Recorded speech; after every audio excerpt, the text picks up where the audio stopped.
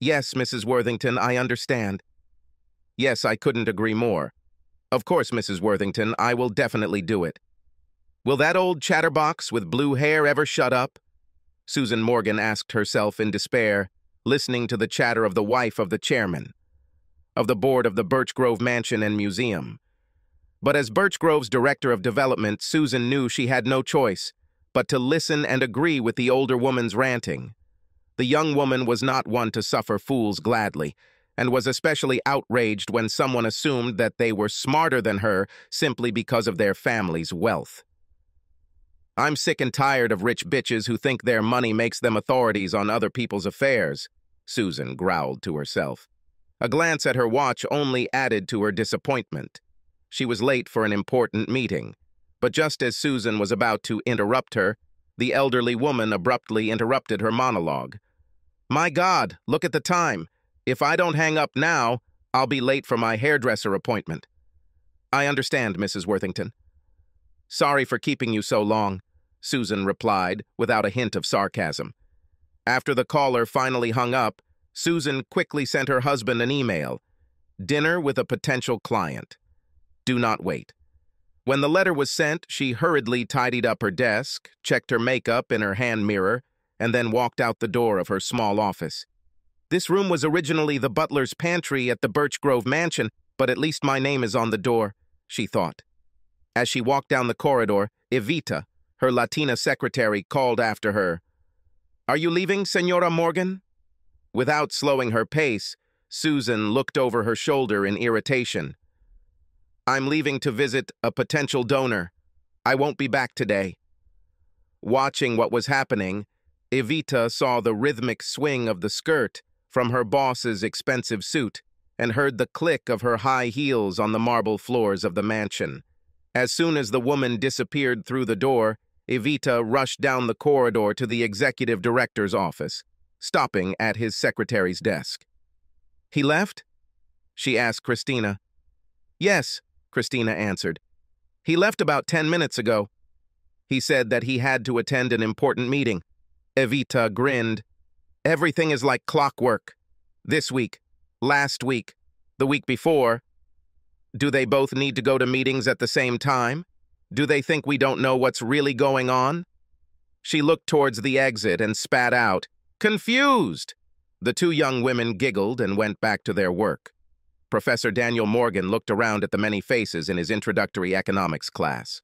Although he knew that few would show any sustained interest in economics, he hoped that he could at least generate some intellectual curiosity about the subject. To spark this interest, it will take an unconventional approach, he clicked an icon on his tablet computer, and a projected image of a graph filled the wall behind him. Today, he intoned, we'll talk about the concepts of supply, demand, and price. Some comedian in the lecture hall let out a low groan, causing everyone to laugh. Daniel was unfazed. I know, I know, it's boring. But these abstract concepts have an impact in the real world. Let me give you an example. He bent down and picked up the work of art, holding it where everyone could see. Will anyone recognize this? he asked. Marilyn Monroe, by Andy Warhol, said a female voice. Sorry, miss, I'm afraid you're in the wrong class. The art school is in another building, Daniel said sarcastically. When the laughter died down, Daniel smiled. Seriously, our art lover is absolutely right. So why am I showing you Andy Warhol in economics class? The answer is that this particular work, or at least one that looks almost exactly like it, sold in 2022 for just over 195 million. This makes her the current record holder for the best-selling American artist. The students whistled a couple of times. I believe, Daniel continued, that no one in this class was a buyer. This caused a few chuckles. Are there any billionaires here? Well, I hoped. In any case, the fact is that at that price there was only one buyer for Andy's Marilyn. However, any of us could go to the college bookstore right now and buy a print of Marilyn for about $20. And why are there so many buyers at the bookstore and so few at the auction? It's all about the price. At $195 million, there was only one buyer, but at $20, demand skyrockets. Before you object, I know that there are many factors that influence the market demand for any product, product, or service. We will look at them in future lessons. But the fact remains that price is one of, if not the most important, factor determining demand. When the lecture ended, Daniel was glad that several students came up to ask questions or argue another point of view. At least I made them think about the subject, he thought with satisfaction. Returning to his office, he hid Monroe's photograph behind a filing cabinet and then pulled his cell phone out of his pocket. He felt it vibrate during the lecture, but he made it a point to never stop class to check. Now he saw that Susan would not be home again this evening.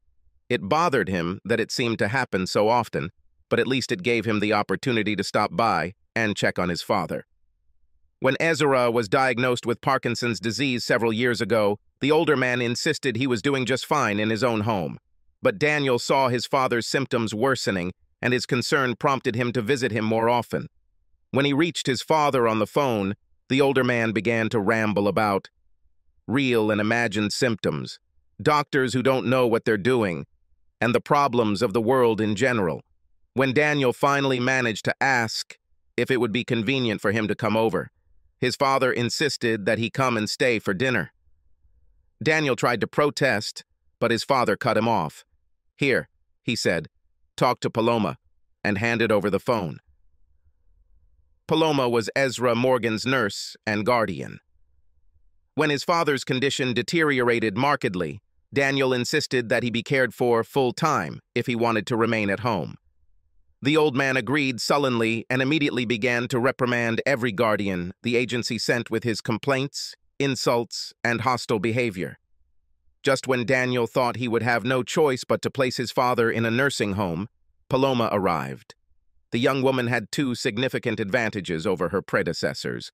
First of all, she was unexpectedly pretty, which Ezra definitely appreciated. Secondly, Paloma was not at all embarrassed by Ezra's boasting. When he snapped at her, she snapped back.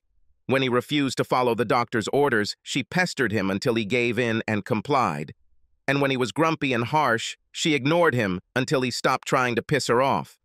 One day, when Daniel stopped by to see how things were going with the new nurse, his father surprised him by declaring that he approved of Paloma.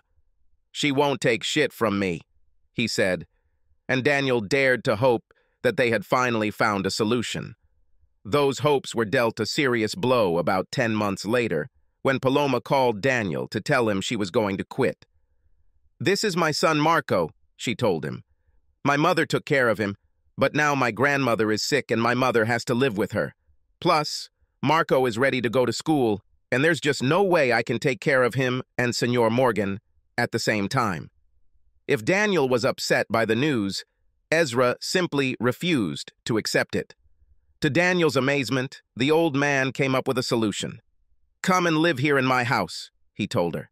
This place is quite big. Plus, you'll save on rent and commuting costs. I'll even buy groceries. What about Marco? You don't want a six-year-old running around your house. You know, I used to have a six-year-old boy here. Besides, Marco will let me talk to him when I get tired of your whining. She went to Daniel's office to talk to him about the proposal. Once he recovered from the surprise, he began to see the benefits. In addition to receiving ongoing care from someone his father liked, Daniel thought that living in a family environment might benefit his father. It's up to you, Paloma, Daniel told her. I think it could be a good decision for Dad, and I know I would feel better if he had someone he liked taking care of him.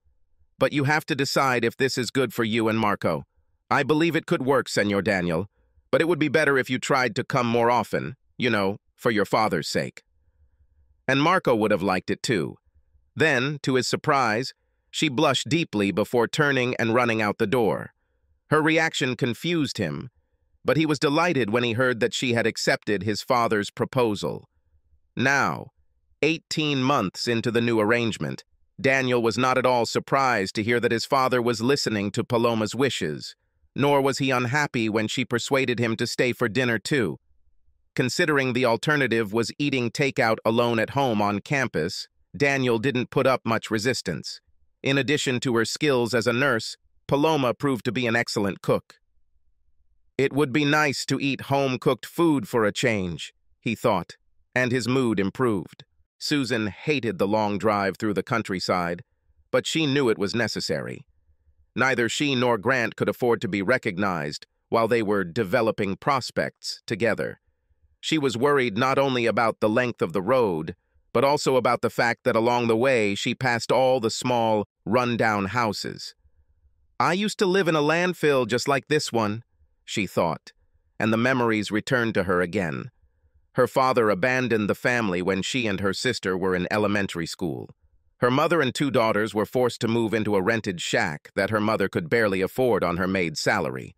The girls' classmates at school fared little better, but that didn't stop them from mercilessly harassing the two sisters. But Susan was smart. In high school, she had good grades, high enough to receive a full scholarship to the University of Pennsylvania. Education, she was taught, was the path out of poverty, the way to achieve the same lifestyle that all the other students seemed to enjoy. And while these girls were not unkind, socio-economic differences could not be ignored while her classmates danced at fraternity and sorority parties on the weekends. Susan was in her dorm studying for tests on Monday. While they spent the summer in Europe, she worked part-time on campus. However, during her senior year, Susan took a break when she caught the attention of a handsome economics teaching assistant. Daniel Morgan was on his way to a PhD, but he was no botanist. He had a good sense of humor and loved communication. When he met her, he found Susan's combination of intelligence and beauty irresistible. There were rules against relationships between teachers and undergrads, but since he was an economics major and she was a fine arts major, the rules were easy to ignore. Susan had already dated men a little and tried a few sexual encounters, but she was determined to become a better person and knew that a reputation as a slutty college girl was not the path to success. Now faced with the prospect of a relationship with a man with a future, she did everything she could to grab it. He never had a chance. A man with a future! Ha! She thought angrily. She expected Daniel to join one of the large investment banks or management consulting firms that regularly recruited on campus. When he told her that he dreamed of an academic career, she was quietly disappointed. But maybe in the end, he will head a large educational institution, she consoled herself. A little research on the internet convinced her that several university presidents had an economics background. But now, seven years after they got married, she found herself living on a university town and her husband happily teaching at the university. This is not the future I wanted, she cursed. In this spoiled environment, she took a job raising funds for a local museum in a converted mansion that had previously belonged to one of the oil barons of Pennsylvania. Once again, she found herself in debt to a bunch of rich matrons and their cutesy offspring, listening to their gossip, submitting to their imperious demands. But it won't be like this for long, she swore to herself, driving the car behind the small rural motel where she and Grant met. I found a new path to climb. Before Daniel could get out of the car at his father's house, the front door swung open and a small ball of boyish energy flew towards him. Senor Daniel, Senor Daniel, will you play football with me? Marco shouted. Marco! Paloma shouted, going out onto the porch. Leave Senor Daniel alone! He had been teaching all day and was tired. Before the little boy's face could fall, Daniel waved his mother away. It's okay, Paloma. Come on, Marco. Show me your skills. With these words, the two of them began to play, dribbling, passing, and hitting a soccer ball stained with grass. As they raced around the yard, Daniel noticed that Paloma had gone inside and brought his father out to look at them. The old man was delighted with what was happening, excitedly cheering them on, although he had never been to a football match in his life. They finally stopped when Paloma called them over for dinner. Marco protested, but Daniel was just as happy to leave. I'm not in shape to keep up with this boy, especially when playing football. Expecting traditional Latin American cuisine, Daniel was pleasantly surprised when Paloma served a Mediterranean-style dish. Chicken kebab with basmati rice, Greek salad, and pita bread on the side. Ezra grumbled that he wanted a hamburger, but Daniel noticed that he had eaten his entire plate. They ate dinner as a family, discussing their day, their plans for the week, and other little things that lifted Daniel's mood even more. He realized that he had not thought about Susan since he arrived. As they cleared away the plates, Paloma leaned over and whispered, In case you were wondering, I try to stick to the Mediterranean diet with Senor Morgan when he lets me. I want to protect his heart as much as possible. Thank you, Paloma. Whatever you're doing seems to be working. I haven't seen Dad this energetic in a long time. After the dishes were in the dishwasher, they all moved into the living room. After talking a little more, Daniel noticed that Marco had become quiet. I think even seven-year-old children can get tired after such an intense game, he thought with surprise. Paloma also noticed this and took Marco to his room. By the time she oversaw her son's bedtime preparations, he was already half asleep. But as soon as he lay down, his eyes opened again. Mom, can Senor Daniel come in and say goodnight to me? We don't want to impose ourselves on him, she said sternly, before softening but I'll ask. Daniel liked the boy's request and readily followed Paloma back to Marco's bed. To his surprise, the boy reached out and hugged him, then lay down again, rolled over and closed his eyes. Good night, Marco, Daniel said gently, tucking the blanket over the boy's shoulder. Good night. When they returned to the office, Daniel saw that his father had also dozed off. He helped Paloma carry him back to the bedroom and put him to bed. Daniel was surprised to realize how little his father weighed. After the two of them returned to the office, Daniel thanked Paloma for dinner and told her he would be heading home. Aren't you going to stay a little longer? she asked, reaching for his hand before stopping herself. I... Could you tell me a little about the painting in the living room? Of course, he said, and followed her into the other room.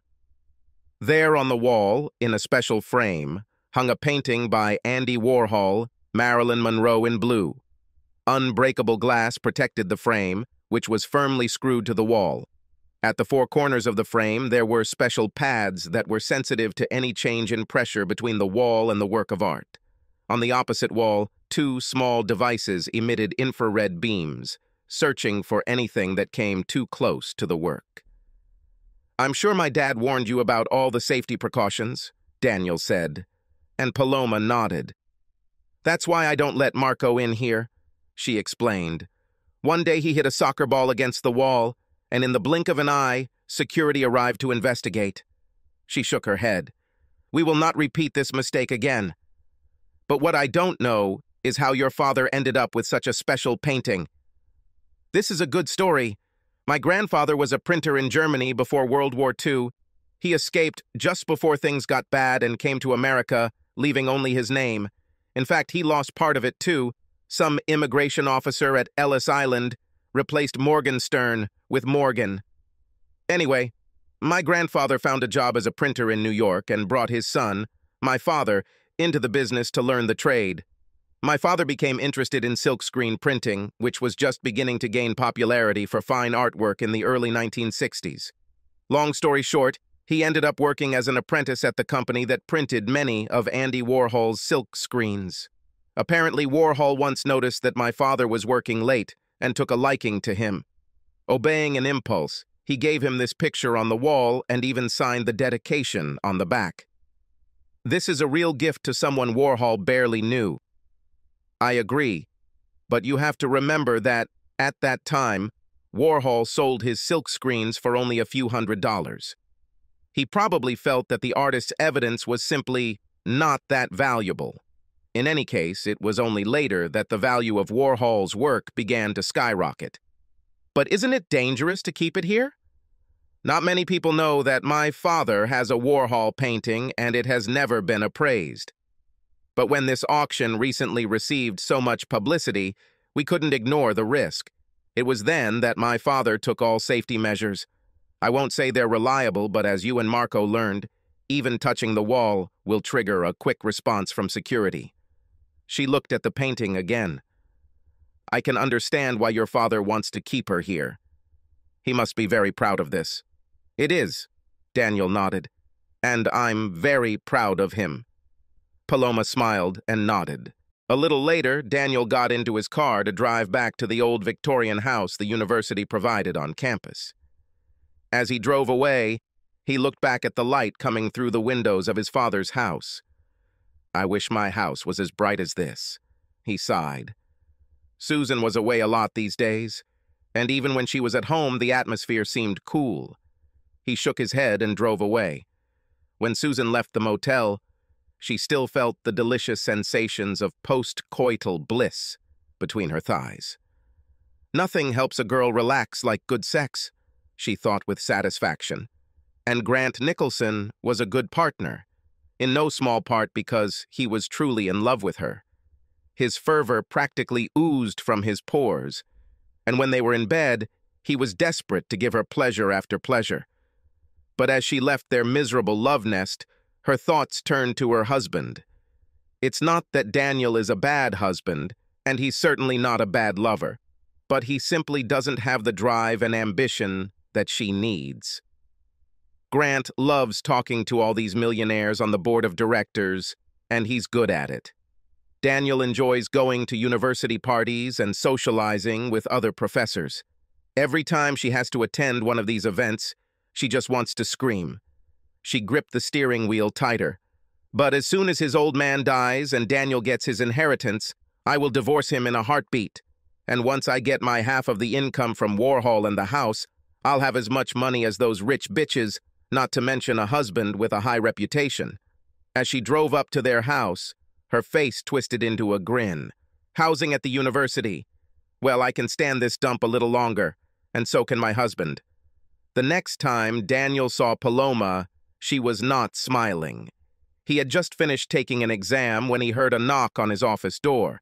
Looking up, he was startled to see a young woman standing there, and the look on her face filled him with worry. What happened, Paloma? Did something happen to my dad? Is Marco okay? She hurried in closing the door behind her, and sat down on one of his side chairs. Your dad is fine, Daniel. My mother will live with him and Marco while I'm here, but... He shook his head impatiently. So what happened? What's happening? You know I have a big family in this area, right? I didn't know, but continue.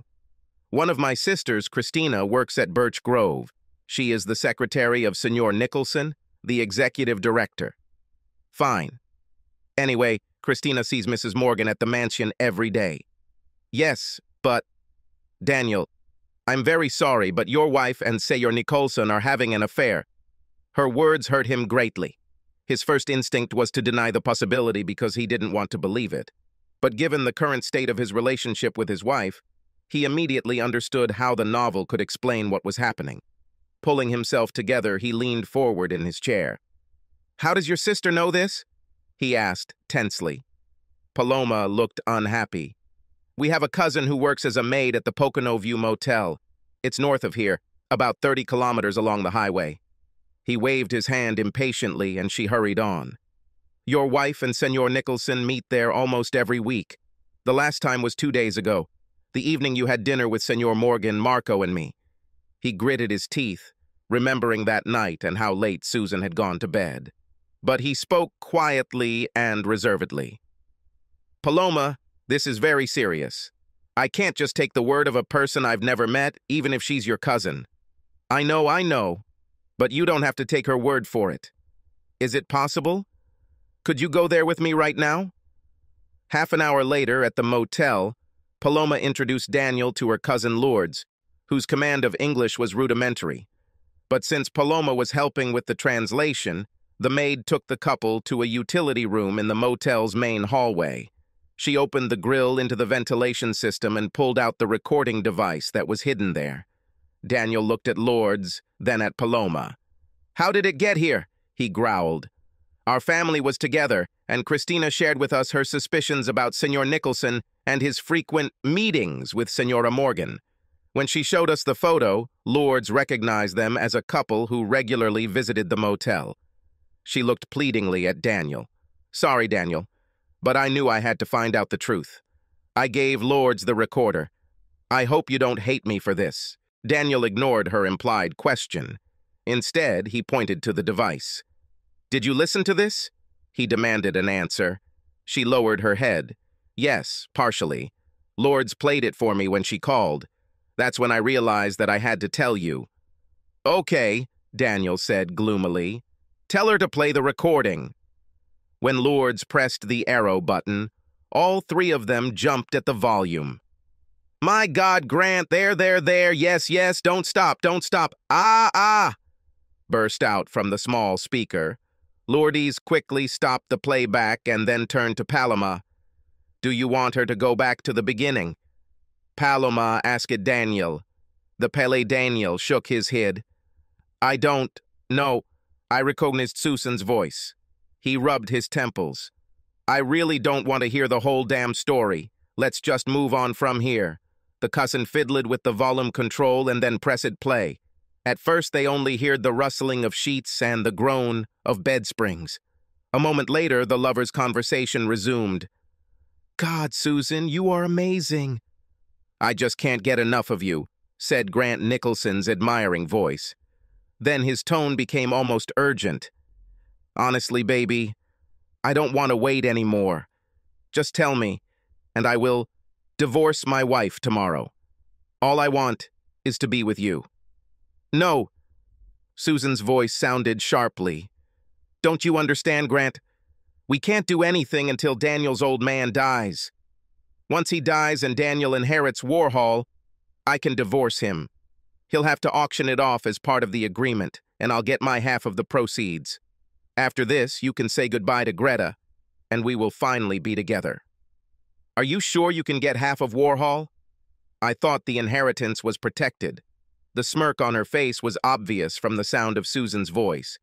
Do not worry about it. I have a lawyer who knows how to get around this. And since he is paid based on compensation, I can guarantee you that he is highly motivated. Yes, but how much longer do we have to wait? Nicholson whined. Be patient, baby, Susan reassured him. The old man is quickly going downhill. We'll get what we want soon enough. Daniel reached out and angrily jabbed his finger at the off button. What an insidious bitch! She had it all figured out. He slammed his fist on the counter, startling the two women. He then turned and left the motel. Paloma gave Lourdes a quick hug, then grabbed the recorder and hurried to the parking lot. She found Daniel standing outside his car, staring into space. He turned to her as she approached, his eyes reflecting the anger and despair of a man who had been betrayed. I tried so hard, Paloma. I knew she was unhappy with our marriage, but I kept trying to make things right. His expression darkened. Now I know why nothing helped. Now his voice was full of determination. Get in the car. We need to go back to the city. She sat in the passenger seat and, as soon as they pulled out onto the road, timidly said, I hope you're not angry with me, Daniel. I felt that you wanted to know what she was doing. He shook his head from side to side. I'm not angry with you, Paloma, but I'm very angry with Susan. What are you going to do? You're not going to hurt her, are you? He glanced at her. Yes, I'm going to hurt her. And Nicholson, too. Seeing the expression on her face, he added, But not in the way you imagine. I'm not a cruel person, but I guarantee you they won't like what happens. She reached out to take his hand. I don't want you to get in trouble, Daniel. I just couldn't. He smiled slightly at her. Don't worry, Paloma. Everything will be fine. Then his smile disappeared. While you deal with your mother and Marco, I need to talk to my father. He shook his head sadly. He was so excited when I married Susan. She made a great impression on him. He couldn't wait for us to have children. When he hears what I found out, he'll be just as upset as I am. He looked at Paloma with an ironic expression on his face. It's ironic, you know, I got so upset every time Susan said she wasn't ready to start a family. But now, I'm really glad we didn't. They drove the rest of the way in silence, each immersed in their own thoughts. The conversation with the father was long and painful, but in the end, the two men came up with a plan of action. Daniel's first move was to file for divorce to thwart Susan's plan. His father promised to ask his own lawyer to recommend a divorce lawyer, he also warned his son not to say or do anything that might tip Susan off to what he had learned. I can do it, Dad, Daniel agreed. I'll just avoid her as much as possible until I'm ready to serve her. Considering how little time we already spend with each other, this shouldn't be too difficult. To hide his feelings, Daniel spent most of the weekend on campus, grading tests, updating lesson plans, and generally trying to ensure that his academic life wouldn't be too disrupted by his impending divorce. When his father called him with a recommendation on Monday, Daniel immediately contacted the lawyer's office to set up a meeting, but he was disappointed to learn he wouldn't be able to meet the woman until Thursday. He thought about looking for another lawyer online, but then changed his mind. If Susan is going to try to pull off some legal shenanigans, I need someone really good on my side. I can take this a little longer. When Thursday finally arrived, Daniel was glad he had been patient. His new lawyer seemed competent and confident. I think I know what your wife is planning, but I really don't think you need to worry about your father's painting, the woman assured him. Until we file an application promptly, Warhol will in no way become part of any property settlement. She promised that she would prepare his claim for filing next week and could prepare a writ of certiorari for service later that day. Almost ready, Daniel thought, as he headed back to his office on campus. And with any luck, we'll take care of Mr. Grant Nicholson, too. For the first time since he learned of Susan's betrayal, he felt himself relax a little. The call he received on Sunday shattered his complacency. When he answered, at first he heard nothing except the woman's sobs. I'm so sorry, Daniel. I tried so hard to help him. I really tried. Icy horror gripped his heart. Who can I help, Paloma? What's happened? This is Senor Morgan, she shouted, then fell silent. I need to go. The ambulance doctors have arrived. The connection was interrupted. Jumping to his feet, Daniel ran to his car and raced to his father's house. He found the street blocked by a car, an ambulance, and another truck. Parking down the street, he ran to the house, arriving just in time to see the EMTs wheel a gurney onto the porch. He is okay? he asked in despair. The doctor looked at him. Are you the son? Yes, yes, it's me. Is he alive? The man slowly shook his head. Sorry, we couldn't do anything. When we arrived here, he was no longer there. His heart stopped beating. It appears he had a massive stroke or aneurysm. But what about defibrillation? Could that help? The man looked at him sympathetically. Sorry, sir, but even if we could restart his heart, nothing else would work, you understand? You wouldn't want that, and neither would he. As the gurney was loaded into the ambulance and slowly driven away, Daniel could only stand there in shock. Finally, he forced himself to trudge into the house. When Paloma saw him, she ran up to him and, sobbing, threw herself into his arms. I'm sorry, Daniel. I tried so hard to get him back. I did chest compressions until the paramedics arrived, but it wasn't enough. I am so sorry. Through his own tears, he pulled her away from him to look at her face. It's not your fault, Paloma. You did everything you could. I spoke to the ER doctor outside. He told me that Dad must have had a stroke or a brain aneurysm. He probably died before you got to him. She laid her head on Daniel's chest and continued to sob. He sat at the table and chatted with me. Suddenly, he grabbed his head and told me that he was in pain. Then he simply rolled over and fell to the floor. Oh, Daniel, that was terrible. He carefully led the distraught woman to a chair to sit, then went to get water for both of them. When he returned, he asked, Where is Marco? Marco? Madre de Dios, I almost forgot. He is at school. I have to go and get him. She cried again. Marco will be so upset. He really loved your father. She hurried away, leaving Daniel alone in the suddenly empty house. He sat there for a long time. Grief clouded his attempts to understand how his life had suddenly changed. He knew his father was dying, but he wasn't ready to lose him so soon. His own tears flowed freely again, and there was no one to console him. Finally, he pulled himself together enough to make a list of people he needed to notify and tasks he needed to complete. Once he had written down everything that came to his mind, he began the sad task of making phone calls. After calling or leaving messages for the most urgent group, Daniel locked up his father's house and drove to Birch Grove to complete the task he had saved for last. As much as he hated the thought, he decided to tell Susan the news in person. I want to see how she reacts, he thought bitterly. She was startled to see him enter her small office and, upon hearing the news, said all the right things and showed appropriate grief. But as he watched her, he had to bite his tongue to keep from venting his anger. These are crocodile tears, he raged to himself. She must be absolutely delighted, because now she can begin to implement her plan. But he managed to control himself until he left. As soon as he left, Susan ran out of her office, almost skipping down the corridor to tell Grant Nicholson the news. Grant was startled by Susan's sudden appearance and caught off guard by the news she blurted out. Automatically, he began to express condolences, but she interrupted him. Don't you see, this is good news. This is what we have been waiting for. Now that the old man is gone, his property goes to Daniel. I can file for divorce, settle property issues, and once it's final, you and I can be together. Grant felt his own excitement match hers. I can't believe the wait is over. So, when do you plan to file for divorce? She thought for a moment.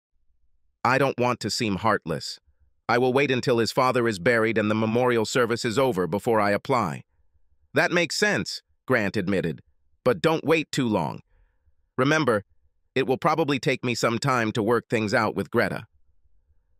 The next few days for Daniel were filled with all the sorrowful duties that death entails. His first and most pressing duty was his father's funeral.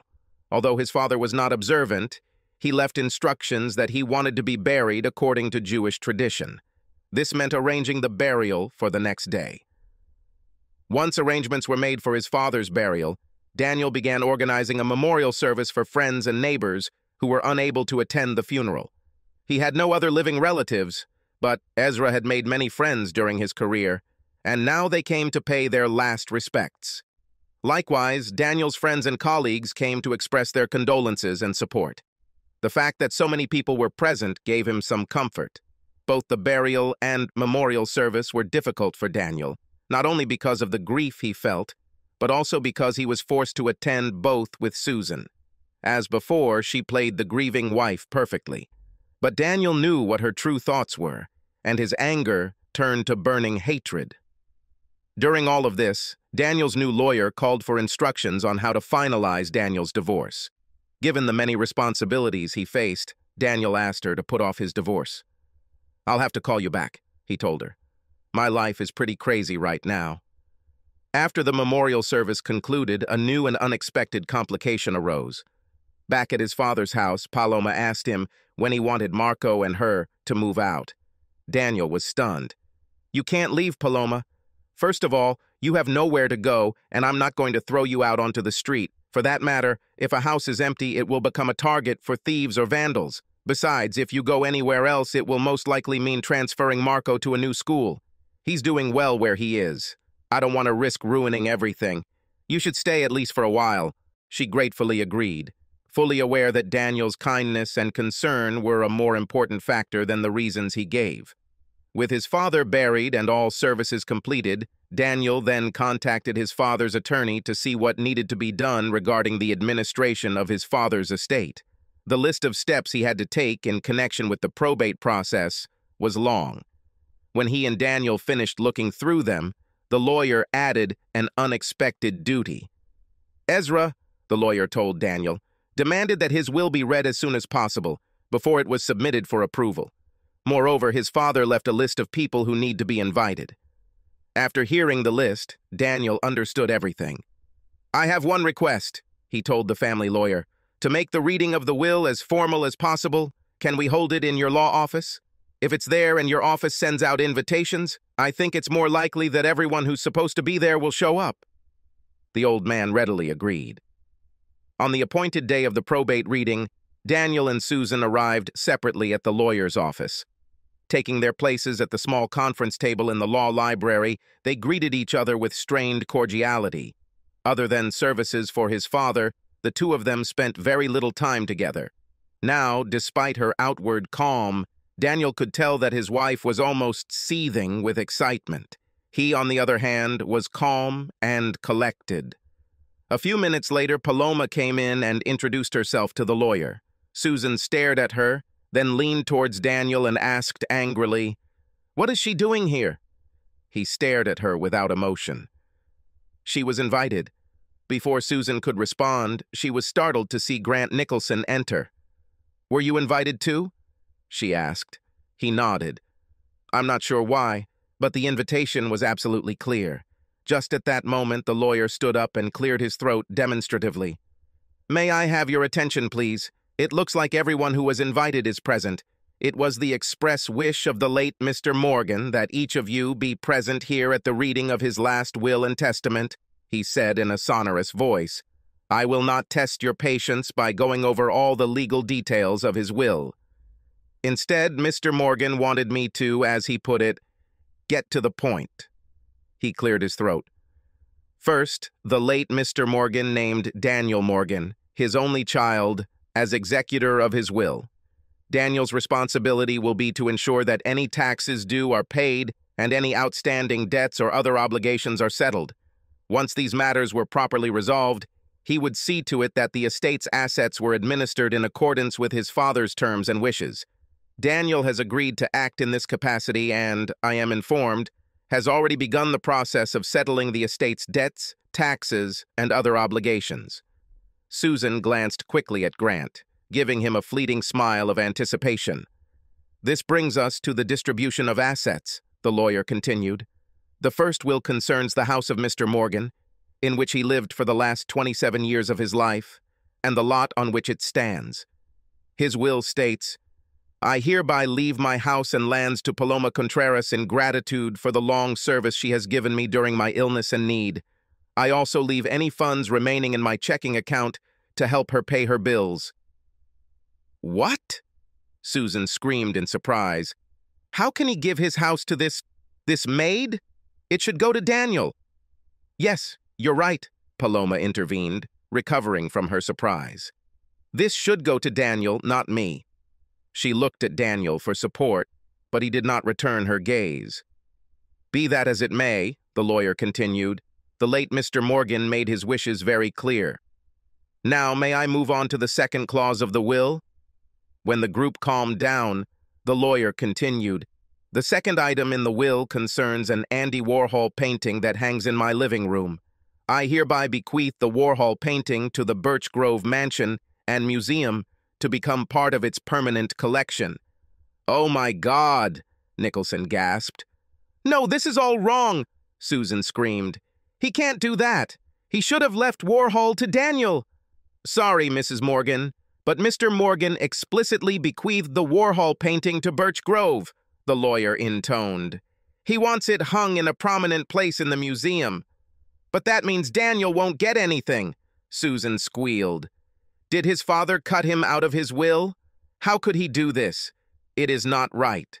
Ladies and gentlemen, the lawyer said loudly, if I may draw your attention, I have not finished reading the terms of the will.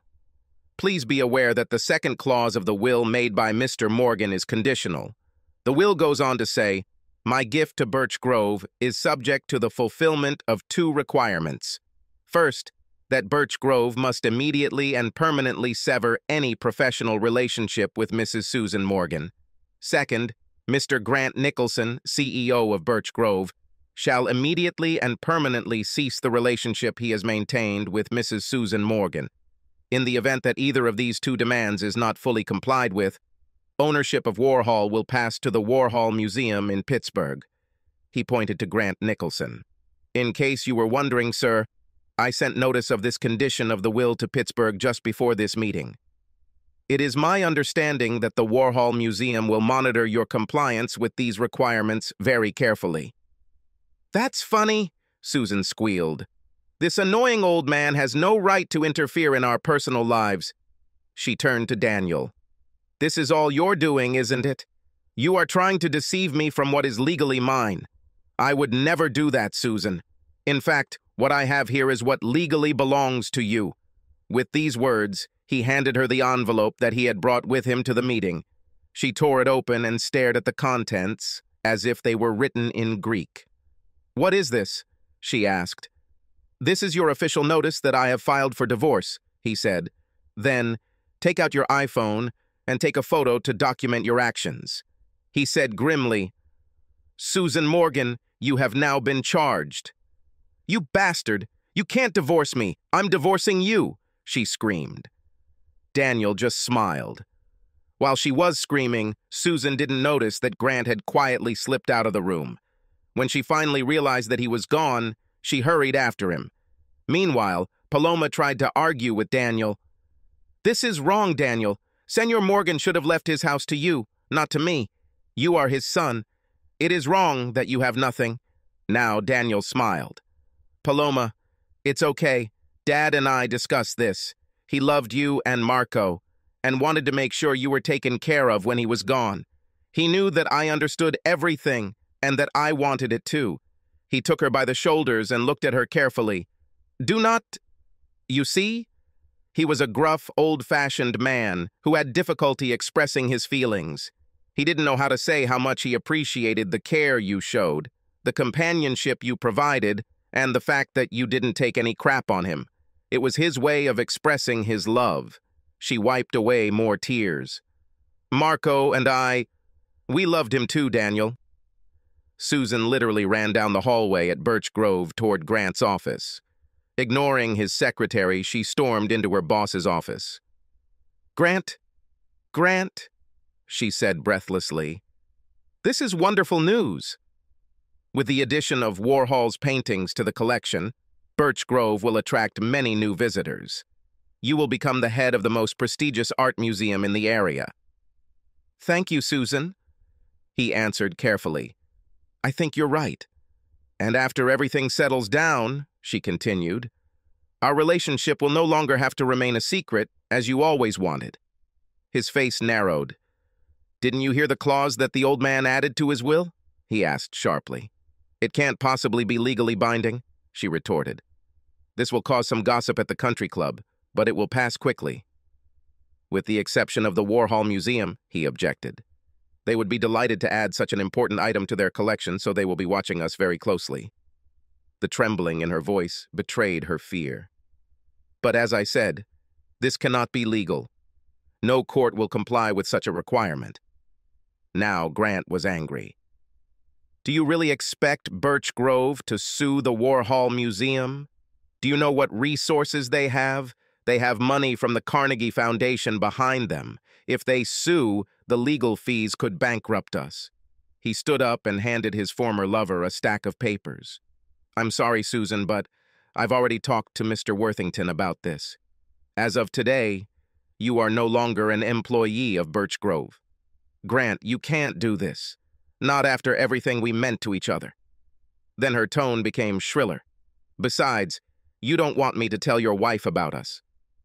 I've already confessed to her, he told Susan coldly, and as soon as I'm done here, I'll go home to continue groveling. I hope the prestige of the wife of the executive director of Birch Grove will soothe her offended feelings. Now it's time for you to leave the mansion. We will arrange for the severance package to be sent to you by mail. She stood and glared at him, her fists pressed to her sides.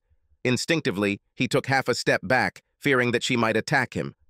Instead, she turned on her heel and walked away, heading down the corridor to her former office. She quickly grabbed a few personal items and left. Walking past her secretary's desk, Evita asked, Are you leaving, Mrs. Morgan? Yes, Susan answered without even looking at her. When her heels clicked on the marble, Evita shouted after her, Goodbye, honey. She then hurried to Christina's desk to tell her what had just happened. Daniel was rummaging through the refrigerator for dinner when he heard the jingle of keys at the front door. As he entered the living room, he saw Susan enter with a sullen expression on her face. When she saw her future ex-husband, her expression changed to anger. This is all you're doing, isn't it? How long have you known about Grant and me? Long enough to ruin your little scheme? He retorted. So you made Ezra change his will, she said bitterly. He was going to leave everything to you, and you talked him into changing that. Why do you do it? Because I wanted to make damn sure you never got to that point no matter what happened. When I heard that you and your lawyer had some plan to claim Warhol as public property by donating it to the Birch Grove Insurance Company, it couldn't happen. Plus, it gave me leverage to ruin your little romance with Grant. I thought his love would fade pretty quickly if he had to choose between you or Warhol. So do you really hate me that much? He looked at her incredulously. After what you tried to do? You're damn right, he shouted. She stared at him, shocked that he was so angry. After a moment, he regained his composure. There is one thing I want to know. Have you ever loved me? She sighed and plopped down in a chair. I think I loved you before, when we first got married. You were so dynamic, so full of potential. I thought you'd rise through the ranks and take me with you. She shook her head and a bitter expression twisted her lips. Imagine my disappointment when I saw the path you chose instead. Soon after, I started looking for a better opportunity. So, money and prestige have always been important to you. Wasn't love and a good life enough? How Norman Rockwell like of you? She grinned. Don't you know it? This is what losers choose when they don't have what it takes to win. Family, friends, community. Is this your idea of losing? What I want is respect, the kind that money and position in society give. That's what's important. The rest is just window dressing. He started arguing, then decided it wasn't worth it. So, what happens next? Her bravado evaporated. I'm leaving. Thanks to you, my reputation in this city is crap. As soon as I gather everything I need, I will leave. And don't worry, assuming we divide the property equally, I won't fight the divorce. All I want is half of our savings and half of the proceeds from the sale of the house. Sorry, Susan, you're forgetting that this house doesn't belong to us. It belongs to the university. She clenched her teeth. You've always been so smart. Why couldn't you be more ambitious? Without waiting for an answer, she headed to the bedroom. After some time, she appeared with a suitcase, a bag for clothes, and a set of cosmetics. I'm leaving now, she told him. I will ask my lawyer to contact yours, and we will finalize the divorce as quickly as possible. She threw a gloomy look at him. At least we agree on one thing. We both want to end this marriage. He looked at her curiously. So where are you going? As far as possible from here, somewhere where I can start over. Hopefully with someone a little more aggressive. Daniel looked after her. Good riddance, he thought with satisfaction. This time, Susan kept her word, and their divorce went smoothly. Daniel hated paying child support, but he couldn't argue with the fact that his soon-to-be ex-wife was now unemployed. It's a small price to pay to get rid of her, and an even smaller price to pay considering what she tried to do to you, his lawyer advised him. Meanwhile, Daniel was busy working as executor of his father's estate. Every day it seemed like there was another demand. Hand out copies of the death certificate, stop Social Security payments to his father, notify the IRS, send legal notices to creditors, and more. After classes, Daniel regularly found himself at his father's house, sorting out possessions stashed away over the years, paying bills and sorting out his father's financial affairs. To his horror, he discovered that his father had paid for everything using paper checks.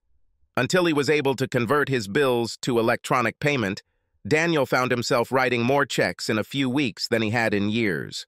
Although this task was time-consuming, it gave Daniel the opportunity to work in the company of Paloma and Marco.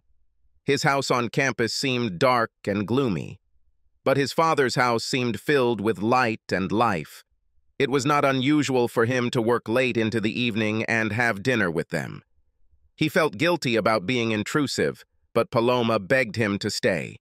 Even after he had almost finished settling his father's affairs, she begged him to continue to dine with them.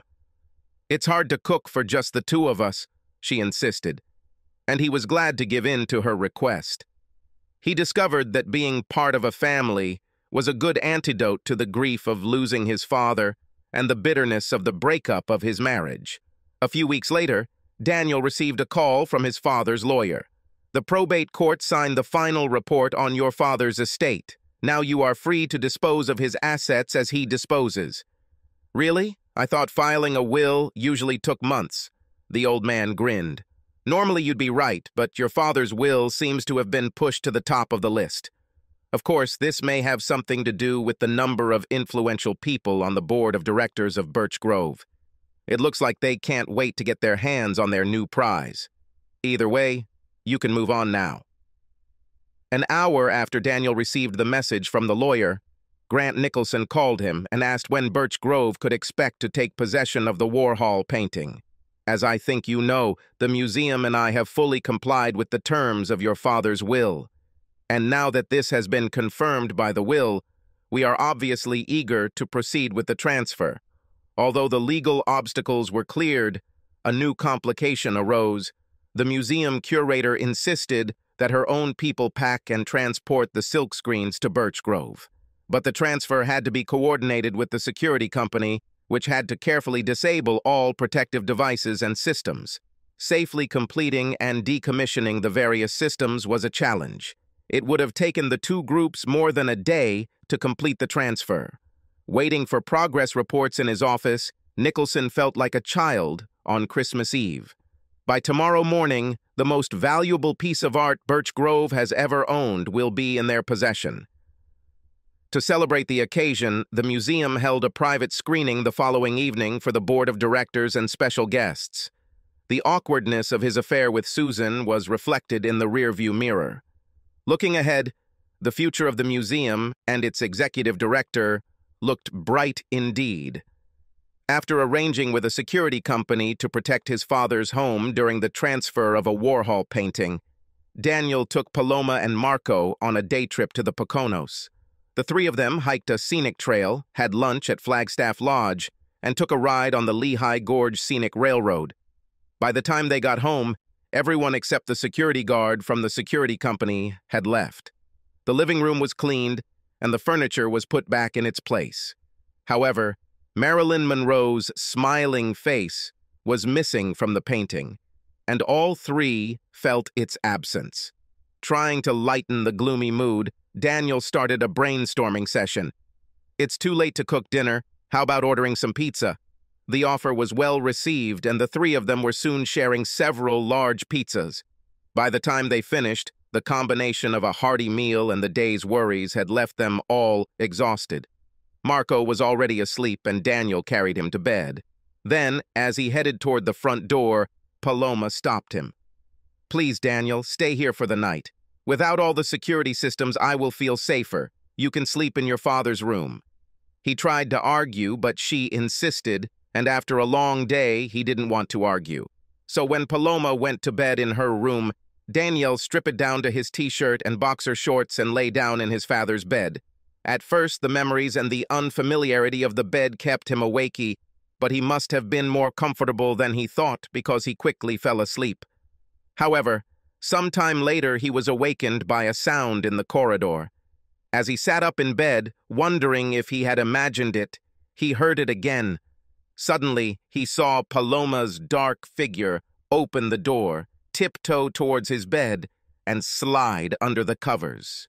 He began to speak, but she covered his mouth with her soft hand. Please, Daniel, it's been so long and I've been so lonely. Then she removed her hand and replaced it with her lips. In an instant, his objections were forgotten, and he kissed her back with a passion that filled them both. His left arm slid around her, holding her tightly to him, while his right hand reached up to the straps of her nightgown to free her breasts.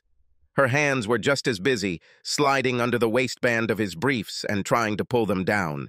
He quickly sat up and pulled off his underwear, then helped her pull her nightgown over her head.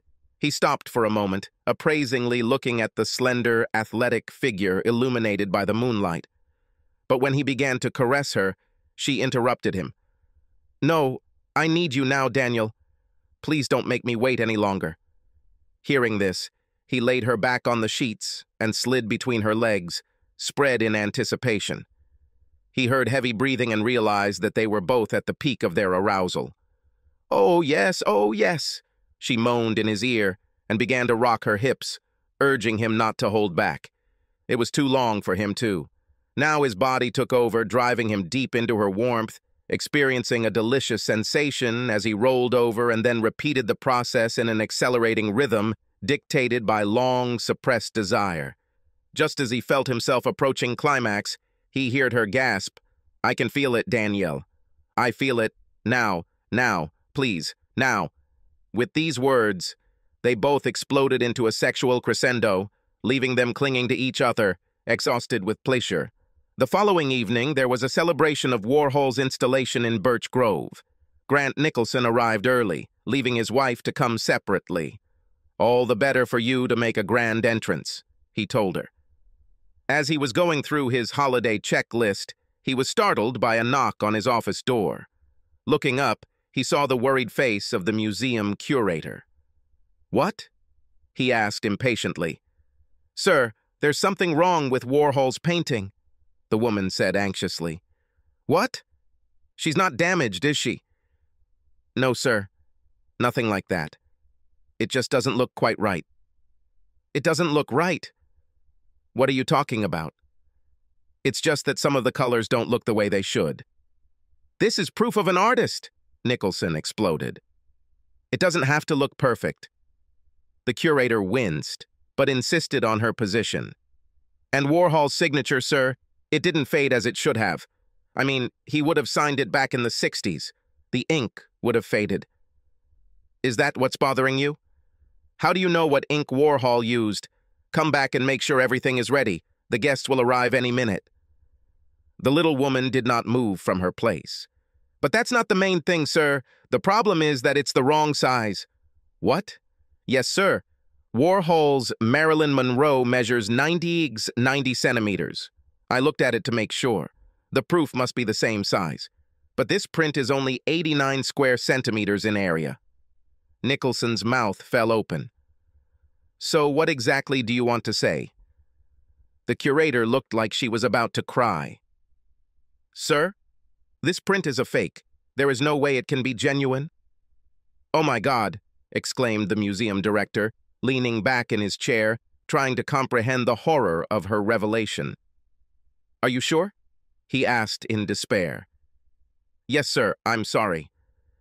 He stared silently into the distance, stunned by what was happening. Sir, sir, the curator interrupted him alarmedly. What do you want us to do? Maybe we should go and hang this after all? You are crazy, Nicholson shouted, causing the woman to flinch. If people find out that we deliberately hung a fake piece of art, it will mean the end of Birch Grove. He shuddered and then pointed to the curator. Remove the work and hide it. Tell your people to turn off the lights and put up a sign that says, Event cancelled. When the woman hesitated, Nicholson shouted, Do it! Do it now before it's too late! The curator hurriedly left, and Nicholson leaned back in his chair, reflecting on the disaster that had befallen him. A thought occurred to him, and he rushed to his secretary's desk.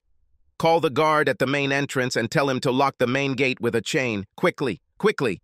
She fell silent in fear. What should I tell him so that he can tell the guests?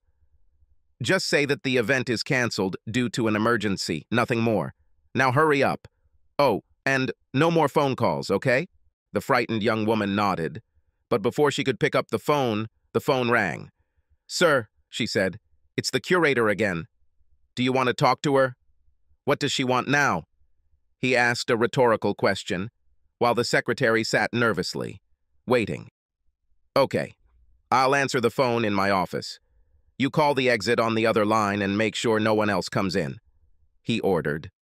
Returning to his desk, Nicholson picked up the phone and the supervisor began muttering something. This is the caterer, sir, and he wants to know what to do with the food you ordered. Tell him to take it back, Nicholson exploded. Damn it, we definitely don't need this. I already tried it, sir, but he says he can't. It's already laid out on the tables. He says he is now prohibited from taking it back. Damn it, then tell him to take it to the homeless shelter. Champagne and caviar, sir? Just do it, he barked and slammed down the phone. Leaning back in his chair, Nicholson put his head in his hands, trying to think of a way out of the current situation. This can't be, he repeated. Could you please explain to me what in the name of all that is holy is going on? A familiar voice rang out. I had to walk all the way from the main gate to get up here.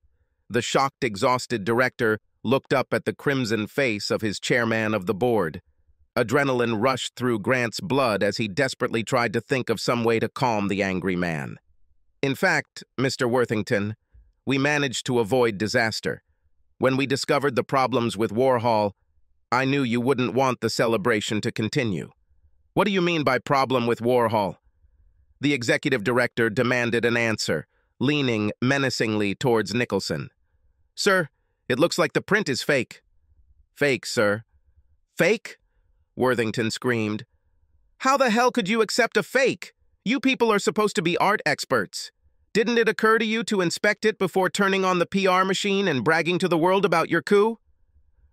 I know what it looks like, sir, but there was a will issue, and then we had to work with a security company to get it here. Sir, you should have seen what security the old man had. Enough, Worthington thundered. In its current form, Birch Grove will be a laughing stock in the art world for many years, and I think I speak for the board when I say that you are responsible for this debacle. Consider yourself fired from tonight. As soon as you can get through the terrible traffic jam you created there, you need to leave this premises and never return. Before Nicholson could protest, Van Worthington turned and walked away, not even looking at the cowering girl behind the counter outside. Oh God, I'm broke, the former executive groaned. When this comes out, not a single museum in the country will hire me. While he was sitting, indulging in self-pity, his secretary suddenly appeared. Sir, there's a call for you, she said in a trembling voice. I told you, Nicholson growled. No more phone calls. Sorry, Mr. Nicholson, but this is your wife, and she asked me to tell you that if you don't talk to her, you don't have to come home tonight.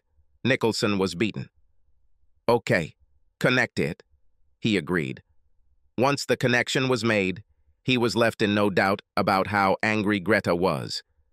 You better come up with a damn good explanation for this, Grant. I've been stuck here in traffic for God knows how long. People keep walking up and down the line of cars, and when they see me, they want to know what's going on. And I, the wife of an executive director, am as clueless as they come. If you intended to humiliate me, you could not have chosen a better way to do it. She paused to catch her breath. So, what can you say in your defense? It's very simple, dear, Nicholson said calmly. When we hung a Warhol painting in the exhibition hall, we discovered that it was a fake. Fake, she exclaimed. Of course, we couldn't show a fake, so we had no choice but to cancel the show. It's a pity that we didn't disclose the problem until the last minute. He paused, swallowed, and then decided to accept his fate. It is also unfortunate that in such situations someone has to be the scapegoat, regardless of whether he is guilty or not. Despite everything I've done for Birch Grove, Van Worthington has just relieved me of my duties. This took effect immediately. She gasped. Worthington fired your ass? Oh my God, this is truly amazing. She took a deep breath. Listen, Grant, I've put up with a lot from you over the years, not the least of which was your dirty affair with that slut you hired as development director. I've looked the other way too many times, but it's gone too far. Do not return home tonight or at any time except for your personal belongings. My lawyer will file for divorce first thing in the morning. You understand? He sighed like a defeated man. You understand? She repeated. Yes, darling. Hearing that the call was interrupted, he lowered his head to the table, completely defeated. Paloma heard about the disastrous discovery at Birch Grove and Grant Nicholson's dismissal from Christina. When she rushed to tell Daniel, he received the news with satisfaction, but not with surprise.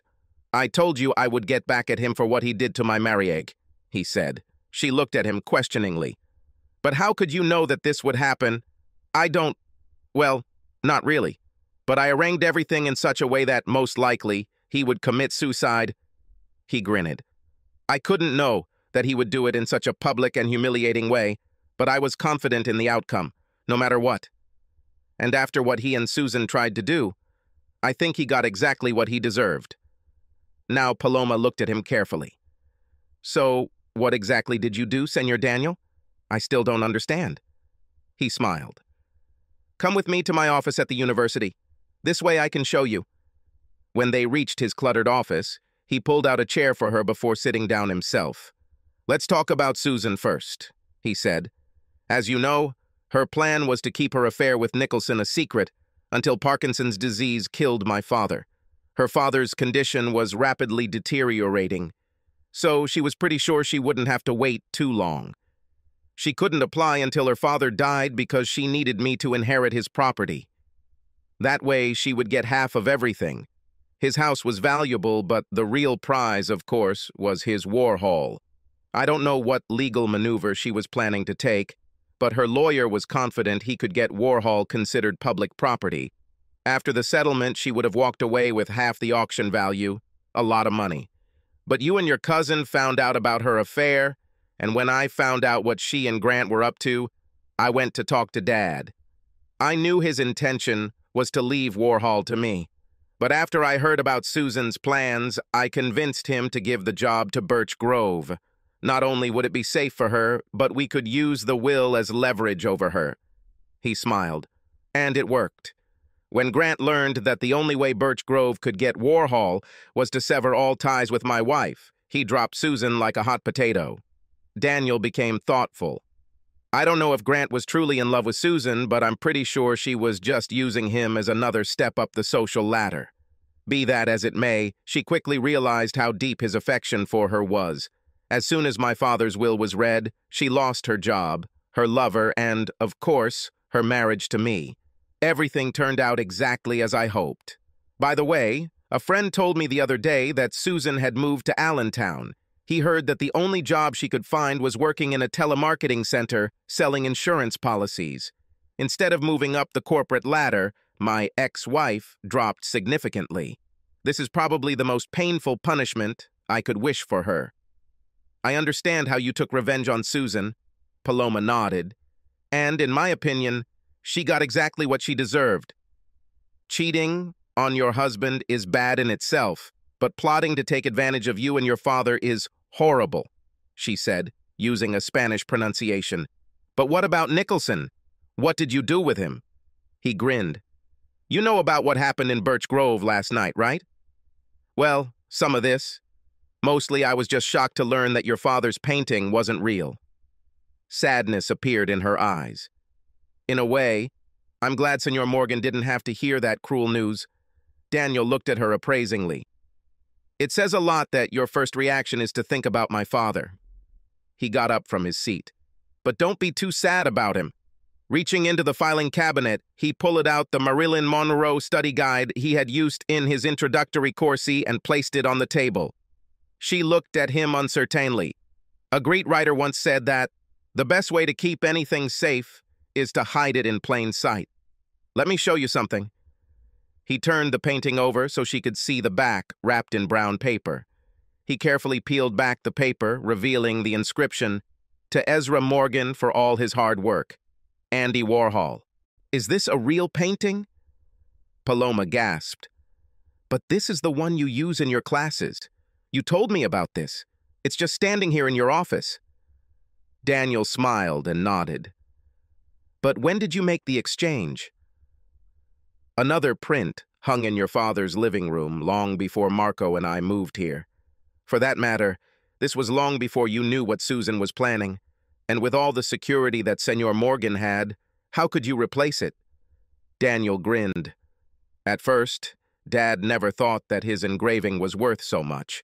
After all, Warhol originally sold his screen prints for just a few hundred dollars each. But as the popularity of his work grew, Dad began to worry about having authentic works by the artist in his home. He and I discussed this, and I offered to exchange the real painting for a cheap engraving. I would leave the real Warhol here and use it in my lectures so that no one would suspect that it has any value. He would hang the print on the wall in his living room. Later, as Warhol's value continued to rise, Dad came up with the idea of installing a security system to protect him. He believed that no one would question the authenticity of the work, protected by all these security measures. It became a game for him. He was always looking for new high-tech devices for protection. Daniel smiled at Paloma. Fortunately, there were never any break-ins, but I'm sure that whole security system helped convince Nicholson that he was buying the real thing. So you changed your prints before I went to work for your father? Right. I intended to swap them when Dad eventually died. But after I found out about Grant and Susan, I saw a way to get back at them both. After I talked to Dad that night, he asked his lawyer to rewrite the will to make sure Nicholson would leave Susan. I then allowed Grant to take the fake Warhol, figuring he would want to display his prize as quickly and as publicly as possible. Of course, he took the bait, and just like Susan, he lost his job, his marriage, and his reputation. So what's happening now? My plan is to let all the turmoil in the Birch Grove calm down. Once that happens, I will quietly inform the board that I found a real Warhol in a storage container I didn't know existed. Once they have had a chance to verify its authenticity, I will ask that they place a plaque on it commemorating my father's connection to Warhol. Don't you regret that you don't have a Warhol for yourself? In the end, it was very valuable. He smiled at her. To be honest, I don't feel bad at all. I never wanted to take on the responsibility of owning an important piece of art. As for money, it was Susan who craved wealth and status, not me. After what I saw that craving do to her, I also am glad I can get away with it. Then his smile grew even wider. Besides, I hope that all this will help me achieve a more important goal. She looked at him uncertainly. What is this goal? Become part of a new family. What did you just say? What new family? Daniel walked around the table to take her hands. A new family with you, Marco and me. When a graduate student visiting Professor Morgan saw the couple in each other's arms, she smiled and tiptoed away. Having walked far enough along the corridor, she called a fellow student. Do you remember how we were so worried about Professor Morgan after he lost his father and wife? Well, I think our favorite professor will be okay. Subscribe to our channel so that your second chaff doesn't cheat on you, and go ahead and listen to the next story, because this story is nothing compared to the next one. If you're under 18, don't even think about listening to the next one. Listening to the next one. Listening to the next one.